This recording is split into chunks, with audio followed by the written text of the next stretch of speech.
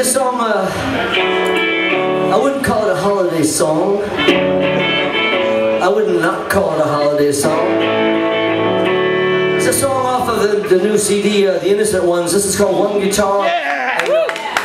You can sing, thank you. You can sing on this if you want. a number of people have recorded this song. I wrote this with Frankie Lee. Please give, uh, do me a favor, give Frankie Lee a hand. Frankie Lee!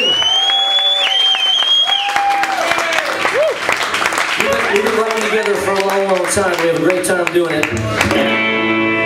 This is one of the songs we've written. It's about what one guitar, it's called One Guitar. It's what one guitar, one voice can do to help make things better in this world. And even though I was in England, I did doing an interview and someone asked, the guy asked me, he said, uh, Willie, are you disillusioned from the 60s that things didn't turn out the way we hoped?